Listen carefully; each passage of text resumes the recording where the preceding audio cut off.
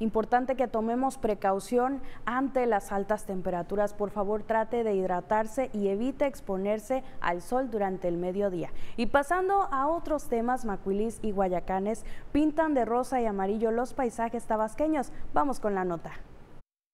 Este día, las calles y avenidas de Villahermosa se pintaron de rosa y amarillo, ya que los árboles de Macuilí y Guayacán han florecido en Tabasco. Hace unas semanas, con la llegada de la primavera, comenzaron a aparecer estos colores en la ciudad, pero fue hasta esta mañana cuando los villermosinos vieron esta maravilla de la naturaleza. Esta temporada se ha convertido en una de las favoritas de los tabasqueños y visitantes del estado, ya que pueden presenciar cuando estos árboles florecen. Se espera que en los próximos días otros puntos de la entidad se pinten de estos colores, puesto que hay algunas especies que aún comienzan a desarrollarse. Para Radio y TV, UJAT Noticias.